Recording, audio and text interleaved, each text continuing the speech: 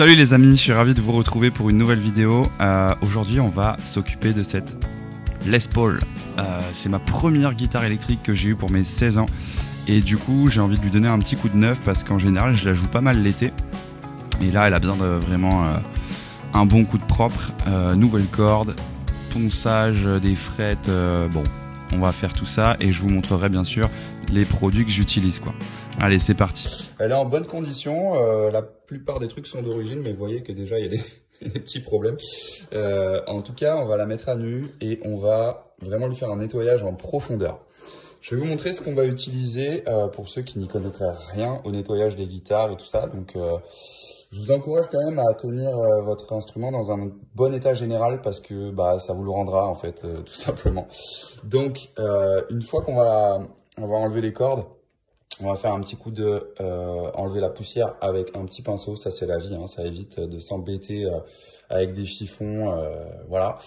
Donc après, on va faire, on va prendre du scotch de masquage et on va masquer la touche en prenant soin de laisser apparentes les frettes de façon à poncer au triple zéro euh, les frettes pour euh, enlever euh, bah, tout ce qu'il faut quoi et poncer légèrement les frettes de façon à récupérer euh, finalement de l'aisance aussi dans les bends euh, dans, le jeu en fait hein, de la guitare euh, quoi qu'il arrive quoi. Donc euh, ça c'est les produits que j'utilise. En aucun cas je vous dis qu'il faut utiliser absolument ça. Mais chez nous là à Bordeaux on a quand même une marque qui s'appelle Harmonix et qui propose des produits qui sont assez chouettes donc j'ai un cleaner. Ça c'est assez basique c'est vraiment pas du tout abrasif quoi Ensuite, j'ai la, même version, mais polish. Donc ça, c'est comme un, on pourrait dire une pâte abrasive, euh, un polish de, bagnole, en fait, finalement. Donc ça, c'est chouette pour les micro-rayures et tout ça. euh, ça, ça redonne un peu, un peu de peps au vernis, on va dire, quoi. Euh, comme j'ai une touche en palissandre, on va aussi nourrir, en profiter pour nourrir la touche, quoi. Et puis, une fois qu'on aura fait ça, bien sûr, on mettra des nouvelles cordes. Euh, ouais, c'est ça que j'ai utilisé euh, cette année, des GHS Boomer. Donc euh, c'est mon dernier jeu, donc ça me fait penser qu'il faut que je fasse une commande chez nos amis allemands de chez Thomann pour ne pas être en galère de cordes cette année. Allez, je vais mettre la guitare à nu et bon ça c'est mon pédalboard mais vous le connaissez déjà si vous suivez un peu. Si ça vous intéresse que je fasse une démo matos sur le board, bah, vous me le dites en commentaire et puis en tout cas on va mettre cette petite épiphone à nu et on va lui redonner toute sa jeunesse. C'est parti. Allez, on commence avec l'enrouleur de cordes. Je détends légèrement toutes les cordes. Et ensuite, je les coupe euh, bah, une à une. Euh, franchement, on s'en fout. Euh, certains diront que c'est pas bon pour la guitare. Moi, je vous dis, on s'en fout. Donc après, j'en- j'enroule les cordes, hein, bien sûr, de façon à ce qu'elles percent pas mon sac poubelle après derrière. Et après, j'attrape mon petit pinceau pour enlever toute la poussière en prenant soin de la virer vers l'extérieur. Après, j'applique le petit cleaner de base avec un chiffon qui est dédié à ça. C'est juste pour enlever euh, le plus gros euh, au début. Et euh, j'essaye de, faire ça sans toucher aux vis qu'il y a. Donc sur les Les Paul, il y a ce système un petit peu de avec des vis pour le, pour le cordier. Donc il faut pas les bouger. Quoi. Un petit coup sur le manche aussi avec le cleaner aussi pour euh, juste enlever euh, un petit peu de, saleté, de poussière. Et ensuite j'attrape le scotch de masquage et il faut, euh, dans cette étape-là, commencer par couvrir les micros. Parce qu'en fait, quand vous allez penser au triple zéro, les frettes après, euh, ça va faire de l'abrasure de métal qui va être attiré par les aimants des micros. Donc euh, on veut absolument éviter ça, même si là j'ai des caches micros sur la Les Paul, euh, je le fais quand même, vous verrez que c'est important. Ensuite, le truc que je vous conseille de faire, c'est de mettre une bande tout du long du manche derrière, ce qui vous permettra de retirer tous les bouts de, scotch en fait beaucoup plus facilement une fois que vous aurez fini l'étape du ponçage. Donc là j'ai avancé un petit peu sur le masquage et je continue sur les petites frettes. Donc il faut replier le scotch sur lui-même ou des fois le couper, c'est un peu chiant parfois, Euh, mais bon. euh, vous allez voir que ça vaut quand même le coup de, de, se faire un petit peu, un peu chier à, faire cette étape. Vous voyez que là, euh, je suis un peu en galère. J'ai essayé de vous le faire à la caméra en commentant, mais ça marchait pas. Donc j'ai préféré le faire en voix off, c'est mieux. Donc là, j'arrive à la fin de l'étape de masquage et j'essaye avec les ongles de, ramener un petit peu les bouts de scotch qui, seraient un peu sur les frettes, de façon à avoir une étape, euh, une fois que je- j'entame avec le, le triple zéro, la paille de fer. Donc là, je suis parti pour du ponçage. Donc c'est pas facile, j'appuie vraiment beaucoup, je fais une première passe sur chaque fret à peu près 10 fois. Et vous voyez qu'il déjà il y a plein d'abrasures de métal qui s'est collé. donc bah, voilà, prenez votre mal en patience et une fois que vous avez fini un peu cette étape-là, n'hésitez pas à enlever au pinceau ben, euh, tout ce qui peut rester comme abrasure de métal afin d'éviter que, ça vienne se coller en fait au cache micro ou à vos micros si vous n'avez pas de cache. Vous voyez, je le fais toujours vers l'extérieur, ça permet vraiment d'éviter tout problème par la suite. Donc euh, déjà, on récupère un peu de brillance sur les frettes. Moi, je le, je sais pas si ça se voit beaucoup à la caméra, mais en tout cas, euh, moi, je le vois quand je regarde la guitare de près, en fait. Et, déjà, euh, voilà, ça a enlevé une bonne partie de, de, noirceur un petit peu sur les frettes et on récupère de, la brillance et ça va nous aider dans le jeu après pour les bends, les glisser, enfin voilà, ça va permettre euh, d'avoir un jeu plus confortable, on va dire. C'est de l'optimisation. Hein. Donc là maintenant bah, il faut retirer tout le scotch, donc euh, bah, même en mettant une petite bande on va dire traversante sur tout le manche, c'est quand même un peu chiant, donc il faut le, faire, il faut prendre son, mal en patience euh, euh, et, enlever tout le scotch, mais pour, euh, un résultat qui va être chouette quand même.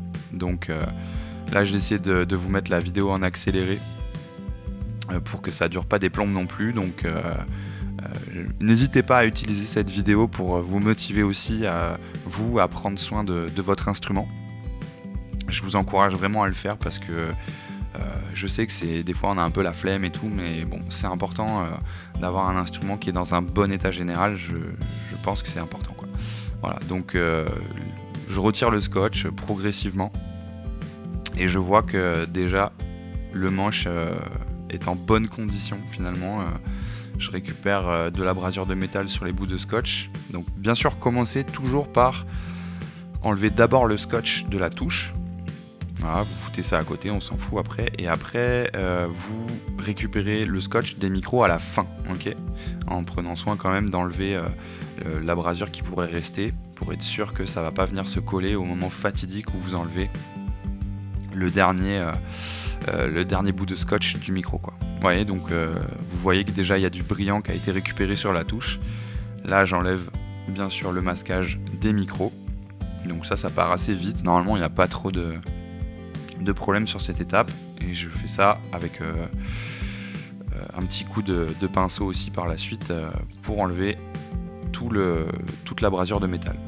Comme je suis un peu maniaque dans mon genre, je repasse un coup de, petit cleaner de base avec le chiffon dédié à ça. J'insiste d'utiliser un chiffon qui va être dédié à un seul produit. Parce que si vous faites des mélanges après, vous étonnez pas qu'il bah, y a des problèmes sur votre instrument. en tout cas, moi, un, produit, un chiffon. Ensuite, on passe à l'étape de euh, l'huile de citron, puisque j'ai une touche en palissandre. Donc euh, là, elle était un peu sèche, donc euh, bah, j'ai mis un peu de, un petit peu d'huile pour nourrir la touche.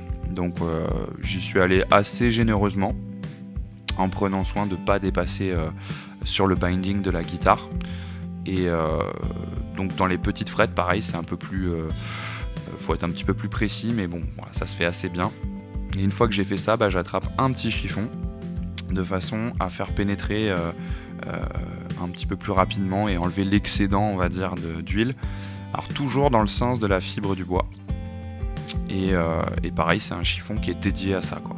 Donc une fois que ça c'est fait, je laisse quand même le, on va dire le produit pénétrer quoi. Et en même temps, du coup, j'en profite pour prendre le polish et euh, commencer à faire euh, le travail de nettoyage un petit peu en profondeur.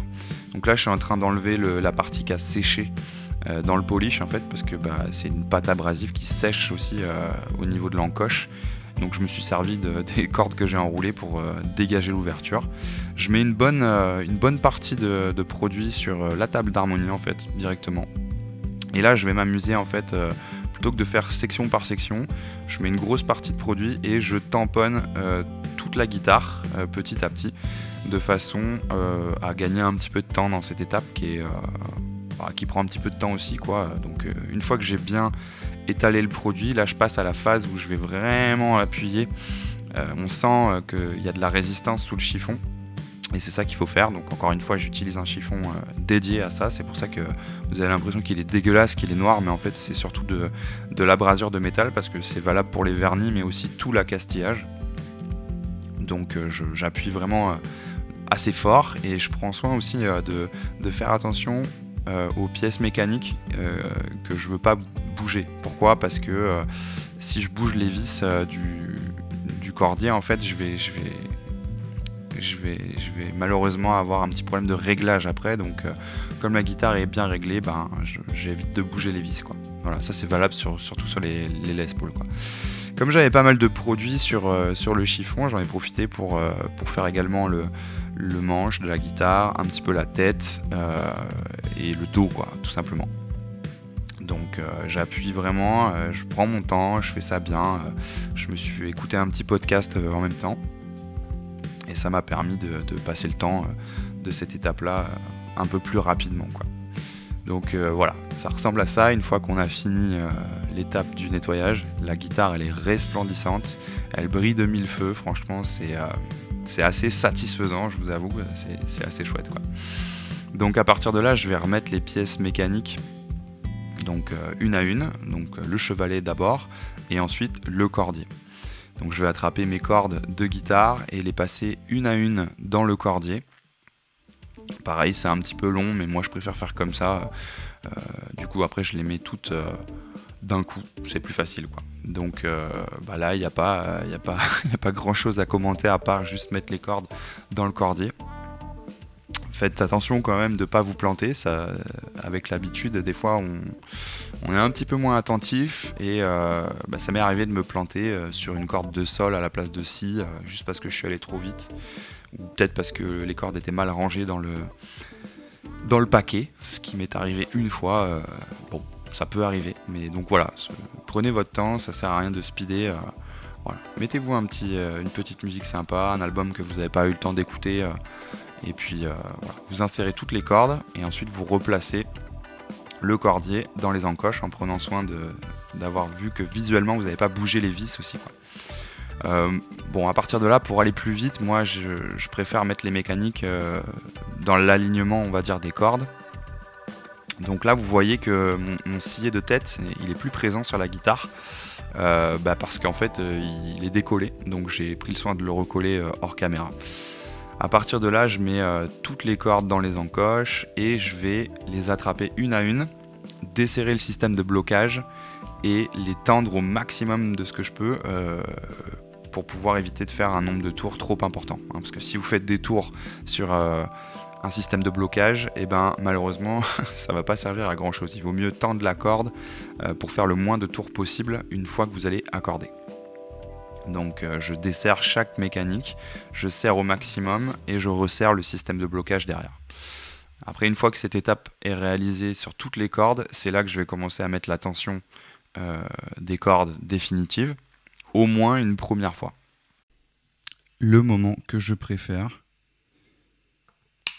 Ah. Ça, c'est le côté satisfaisant. Une fois qu'on a bien travaillé, qu'on a bien tout fini, et là, on va pouvoir passer à l'accordage et au rodage des cordes. Alors.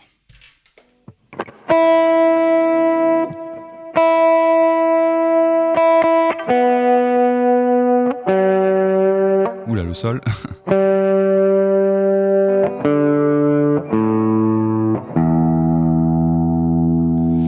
pour roder une corde, c'est pas difficile. Alors pourquoi faut faire ça déjà? Parce que sinon, vous allez vous réaccorder tout le temps à partir du moment où vous avez changé votre jeu de corde. Donc, je vous montre pour le mi aigu et c'est pareil pour les autres après.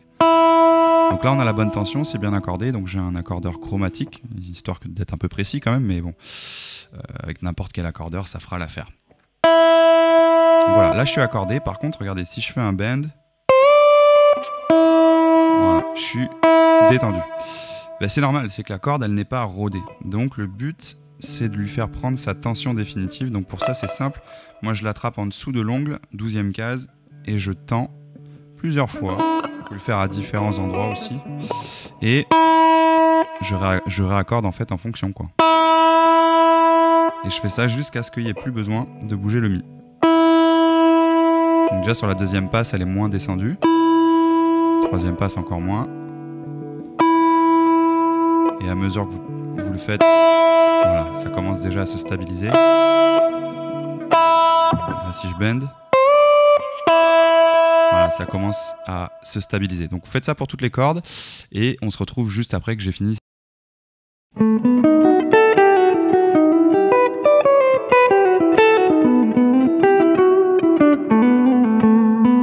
Voilà, j'ai fini un petit peu le rodage des cordes et normalement ça commence à tenir un peu l'accordage.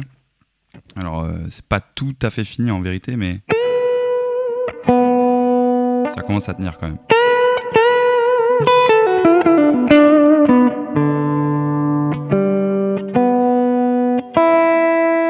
Ouais, ça commence à être stable un petit peu donc. Euh,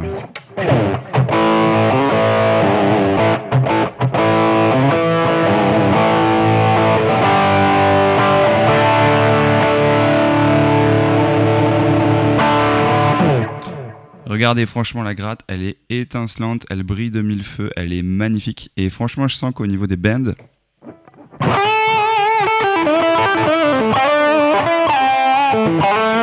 même euh, en la mineur que vraiment j'ai poncé euh, parce que c'est ma guitare d'étude un peu donc vous imaginez bien que les frettes sont bouffées en la mineur et ben même là le fait d'avoir un petit peu poncé avec le triple zéro ben